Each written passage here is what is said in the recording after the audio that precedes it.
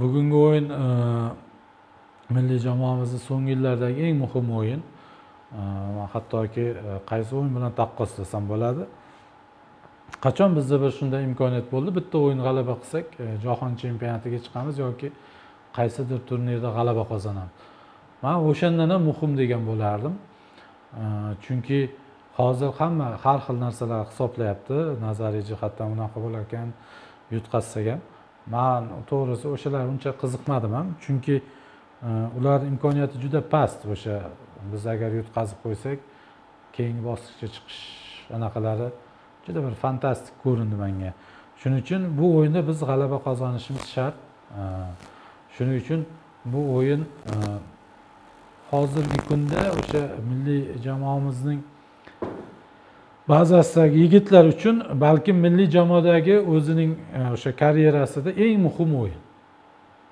Bundan muhim o'yini bo'lmagan. Masalan odil ahmedov e, uchun e, er, bugungi o'yindan muhim o'yini milliy jamoada bo'lmagan.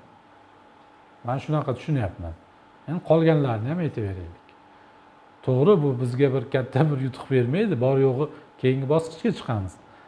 Lekin o'sha keyingi bosqich uchun bugun g'alaba qozonishimiz kerak.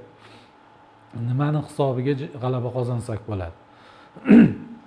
Avvalambor e, kuchlarni to'g'ri taqsimlashni hisobiga g'alaba qozonsak bo'ladi. E, buni ustida murabbiylar bosh qotirayotgan bo'lsa kerak. E, ikkinchi masala o'sha murabbiylar chiqarayotgan qarorlar to'g'ri bo'lishi kerak. Ya'ni tanlangan tarkibda adashmaslik kerak. Chunki baribir hamma murabbiy o'zicha o'zining e, aqli bilan to'g'ri qilyapman deydi. Uni vaziyat ko'rsatadi vaqt ko'rsatadi u qarorning to'g'ri bo'lgan yo bo'lmaganligini umid qilamiz. Bugungi har bir qaror e, murabbiylar tarafidan futbolchilar maydonda chiqaradigan qarorlar biz uchun omadli to'g'ri bo'ladi. Hmm. Jamoa sifatida baribir e, saudiya favorit deb hisoblayman. Chunki saudiya o'z maydonida o'ynayapti. O'zining e, iqlimida o'zining uyida e, va ularni e, ayni shu o'yinda faqat g'alaba shart emas. Ularni o'sha durang ham qoniqtiradi. Odatda durang qoniqtirganda g'alaba bo'ladi. Chunki bosim bizda ularda emas. Shuning uchun ular favorit. Lekin futbolchilar sifatini darajasini olsak bizning futbolchilar ular futbolchilaridan kuchli. Deyarli har bir chiziqda bizni futbolchilar ulardan kuchli deb o'ylayman. Lekin jamoa sifatida ular bizdan tajribaliroq bizdan tezroq. Man boshqa o'yinlarni ham ko'rdim. Va ular o'z maydonida. Bu juda muhim faktor.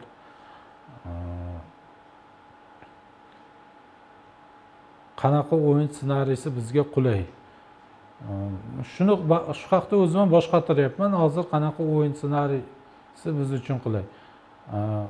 Odatda tez gol bizga yordam beradi lekin bu o'yinda yordam berarmikan? Muhimi kerakli natija.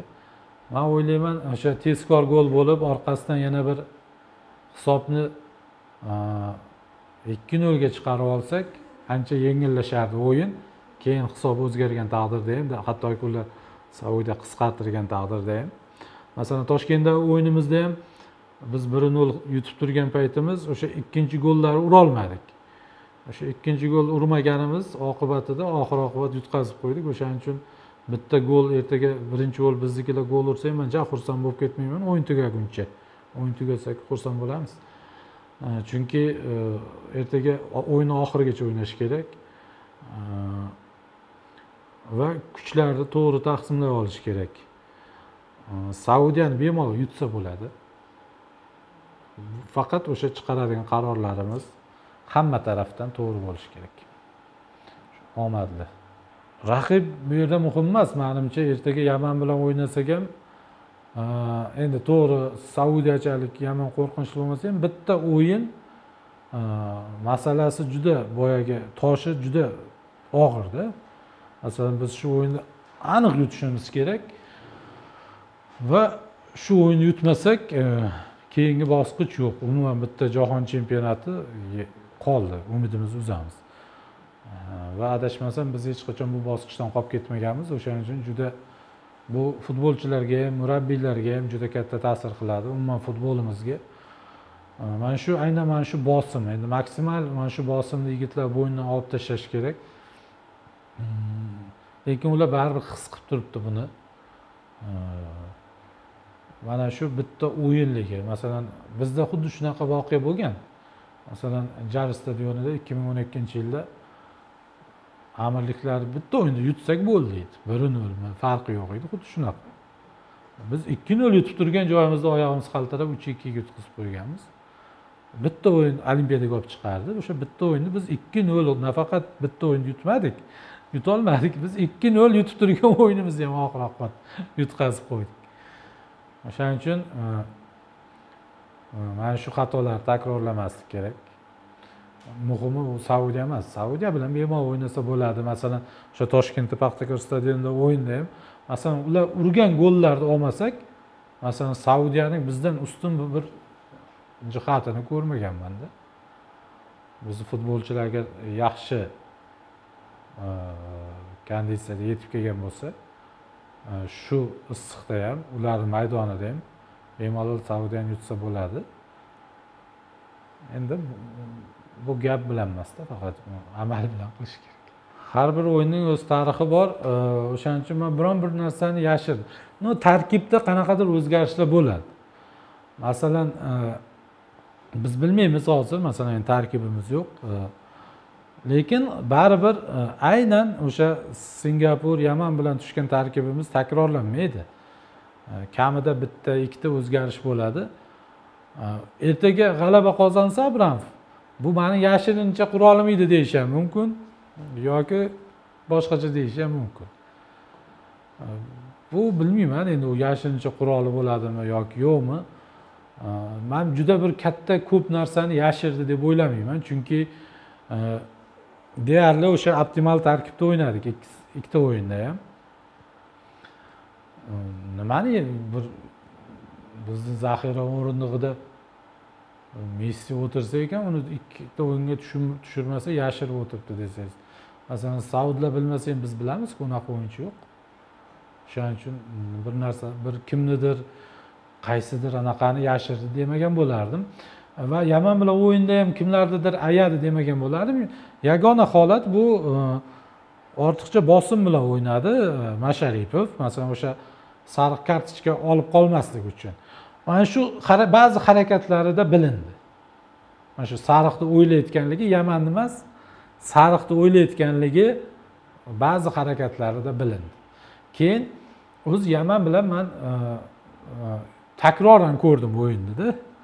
Biz juda bir yomon o'ynamagan ekanmiz. Boyagi boshida birinchi jonli payti shunaqa tuyuladida odam emotsiyada hissiyotda. Keyin men takroran o'yinni ko'rdimda kim sport kanalidan. Keyin biz vaziyatlar yaratgan ekanmiz. Yaxshi yaxshi vaziyatlar to'plar e, anaqasi ham bizda yaxshi bo'lgan ekan. Ularning o'sha payt o'yinda ko'ringan juda qo'rqinchli vaziyatlari umuman bir qo'rqinchli vaziyat emas ekanda aslida. Muxlislar juda man bilan o'yinga ko'p e'tibor berib yubordi deb o'ylayman. Aslida u payt unda ham yomon.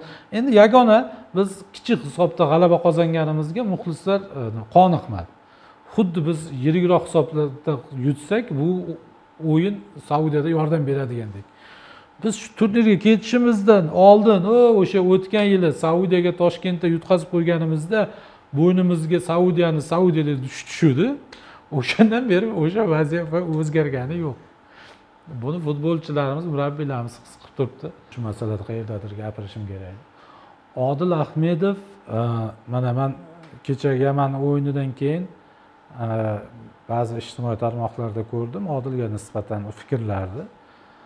E, Ishoning hozir abramov emas boshqa bir murabbiy umuman odilni yaxshi tanimaydigan aytaylik chet ellik murabbiy kelsa ham odilni oladi baribir. Chunki e, odil hali kerak. Bu endi futbolimizni yutug'imi kamchiligimi bilmayman. Lekin odil milliy jamoaga hali kerak.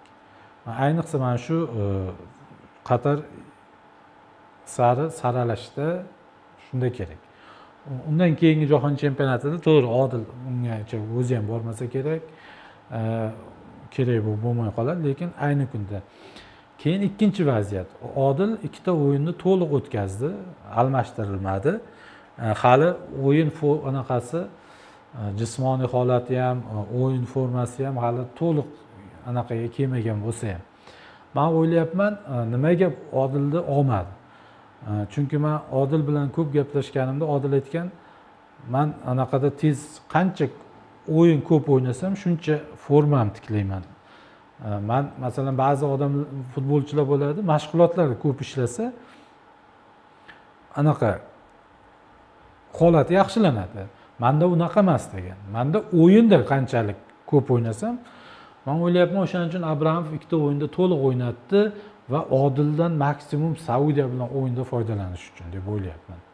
Man shunaqa deb o'yladim. Chunki e, kecha masalan yamanni ham yutishimiz mumkin edi odilsiz ham.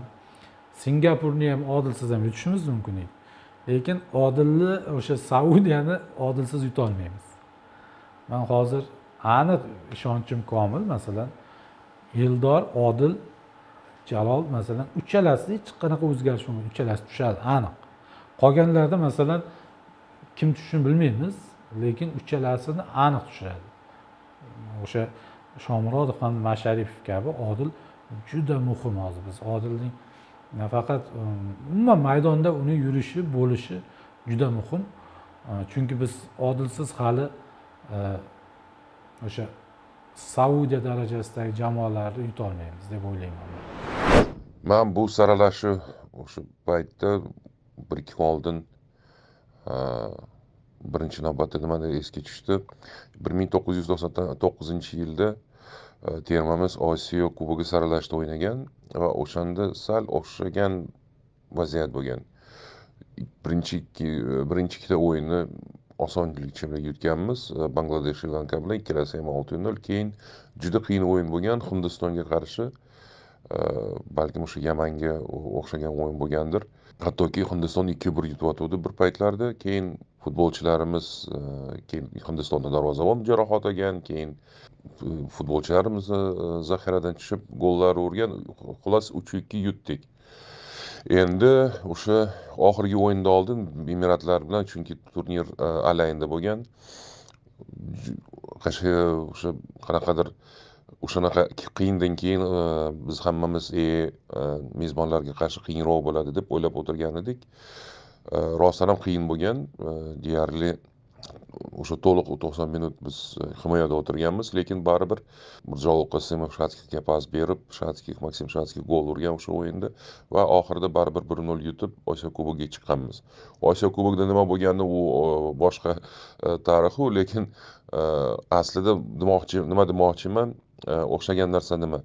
To'g'ri yaxshilab boshlaganmiz. Bu bu safar yomon emas singapur besh nol yutib keyin juda qiyin o'yin bo'lgan baribir yutganmiz asosiy maqsad futbolda har doim ham yaxshi o'ynaydigan jamoa yutmaydi chunki tartib bunaqa gap ham bor tartib klassni yutishi mumkin tartibli o'yin bo'lsa futbolchilari yuz foiz o'zini maydonga tashlasa o'shandan keyin o'shanda bemalol yutsa bo'ladi o'yinni to'g'ri bizani e, faqat g'alaba qoniqtiradi va shu uchun balkim o'sha to'qson to'qqizinchi yil bilan ham qanaqadir e, o'xshatadigan narsa bor. Man o'ylaymanki hozir o'yin o'yin haqida gapirmoqchi emas o'yin uslublari haqida gapirmoqchi emasman man siz ham juda ko'p odam gapiradi. Man birinchi navbatda e, o'yinga shijoat o'yinda shijoat va futbolchilarimizni juda ko'p futbolchilarimizda ehm, ehm, o'sha mahoratlari haqida gapirmoqchiman. Ular uchun ba'zilari uchun balkim bu oxirgi jahon chempionati saralashi balkim oxirgi jahon chempionati saralash o'yini ham bo'lishi mumkin.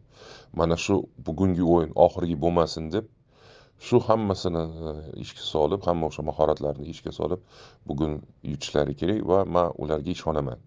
Chunki shunaqa mahoratlari bor va kerakli paytda o'zini ko'rsatishga imkoniyati ham bor. Shuning uchun man g'alabaga ishonaman demoqchimanki lekin asosiy e, o'sha ustunligimiz mana shu mahoratimiz va shijoatimiz. Saudiya saudiya arabistoniga qarshi o'yin haqida fikr. Ertaga e, milliy terma jamoamizni hozirgi himoyasini e, qanaqa darajadaligini ko'rish imkoniyati bo'ladi. E, shuning uchun e, konkret bir qanaqadir fikr bildirish qiyin chunki hali aynan hozirgi himoyamizni hali biz ko'rmadik o'yin darajasini. Lekin kutayotgan hisobim kutayotgan hisobim albatta g'alaba g'alabadan boshqa hech narsa kutmayapman. Endi saudiya terma jamoasini oxirgi e, uchrashuvlarini e, kuzatish imkoniyati bo'lmadi lekin terma jamoa haqida baribir e, fikrga egaman. O'sha fikrdan kelib chiqib aytadigan bo'lsak hozirda butun jahon futbolida baribir lider futbolchi lider jamoalar то есть o'zini odatiy o'yinini namoyish eta olmayapti. Jumladan osiyoda ham boshqa guruhlarga ham e'tibor berib qaraydigan bo'lsak juda ko'p lider jamoalar e, o'sha mm, stabilniy o'yin namoyish etib bera olmayapti. Jumladan saudiya ham garchi hamma o'yinlarni yutayotgan bo'lsada. Shuning uchun man o'ylaymanki ertangi uchrashuvda saudiyaga qiyin bo'ladi. E, ustunlik va kamchilik tomonlarini aytolmaymanu eng asosiysi ertaga bizani o'sha lider futbolchilarimiz e, ya'ni odil ahmedov jaloliddin masharipov eldor qolaversa mana e, sergeyevdan ham man kutyapman chunki u yigit baribir qozog'istonda juda ochildi. Balki o'sha o'yinini u terma jamoada ham ko'rsatishi kerak vaqti keldi. Abramovga ishonaman.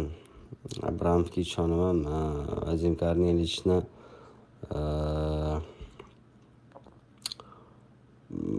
mana shu tarkibni e, topa olganidan xursandman. To'g'risi ochig'i man himoyani bir qaysi himoyachilarni kimlarni chaqiradi deb juda ko'p e, o'yladim.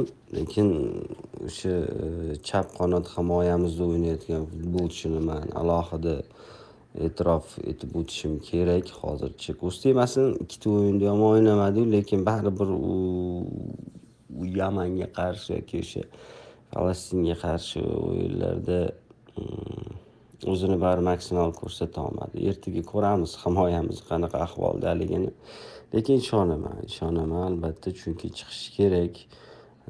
Manimcha agarda keyingi bosqichga chiqadigan bo'lsa hmm, o'ylashimcha yaxshi imkoniyat bo'ladi. Agarda o'sha qur'a tashlash marosimi bizaga omadli keladigan bo'lsa manimcha imkoniyat bor. Mana shu gal imkoniyat bor. Va odil ahmedov chiqishi kerak. Jaloliddin eldor bu yigitlar baribir bir jahon chempionatini ko'rishi kerak. Man ishonaman. To'g'risi mana shu e, o'yinlar boshlanmasdan to'g'risi uncha ishonmayotgandim lekin boshqa guruhdagi boshqa terma jamoalar natijasi ularni o'yini qolaversa o'zimizni ham o'yinimizni ko'rib manimcha qanaqadir umid bordek tuyulyapti manga. Qisqa qilib aytganda ertaga himoyamizni ko'ramiz.